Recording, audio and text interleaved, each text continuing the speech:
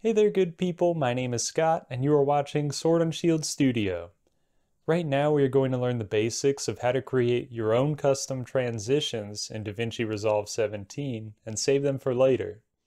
In addition, I'll show you how you can save these as a .setting file so others can install them too. Right, so let's get right into it.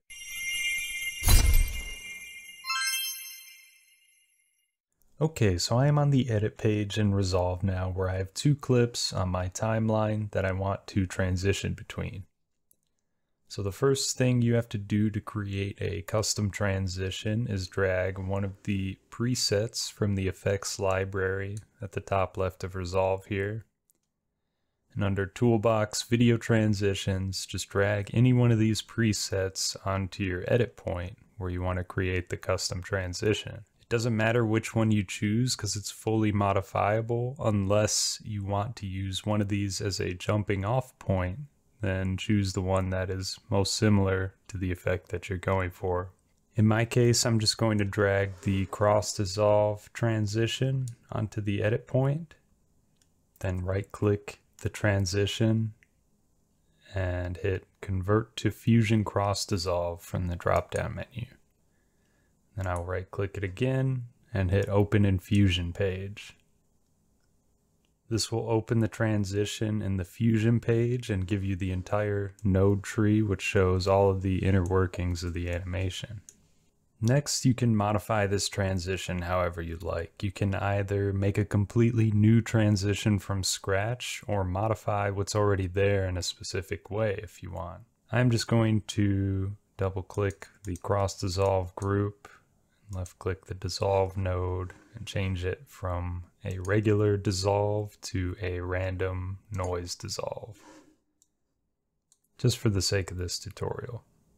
When you are done modifying your transition, go back to the edit page and right click the transition that you modified and hit create transition preset from the drop down menu and you can name this whatever you want.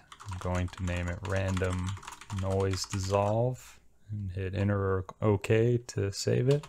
And this will add, if you have not created a custom transition before, this will add a new user section in your video transitions in the effects library where you'll see we have the random noise dissolve there that we just saved. And just to show that this works, I can delete the transition I have on the timeline, drag this over, and it will work just like any other preset in Resolve. If you want to save out your transition as a dot .setting file to pass along to other people to install, it is relatively straightforward. Right click the transition on the edit page and hit open in Fusion page from the drop down menu. Next, if yours is not already grouped together like mine is, hold left click and box select all of your nodes between the media in nodes and the media out node and hit control G on your keyboard to group them.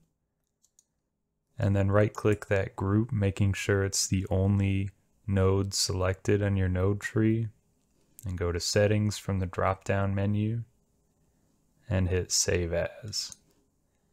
This will pop up a prompt in your OS to save the file. You can save this wherever you like.